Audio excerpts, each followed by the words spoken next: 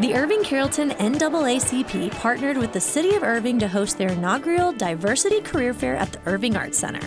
The career opportunities range from corporate to city employment. We have um, the Irving Police Department, we have the Carrollton Police Department, we have the Census Bureau, we have the Omni Hotel that's here. We also have Amazon, we have Atmos, so we have a little bit of everything just for everybody. Daniel Smiley, owner of Infocus Staffing, presented a workshop during the fair discussing how to market yourself for the right position. You're going to be raising the attention of that particular person because that's where the attention of hiring managers are right now. It is on LinkedIn. I think we provided a platform not only for the, the the employees, but also for the employees. I'm looking for the jobs, and so I think it helps build the economic within the, the city itself. The Diversity Career Fair served as an opportunity and growth for the community.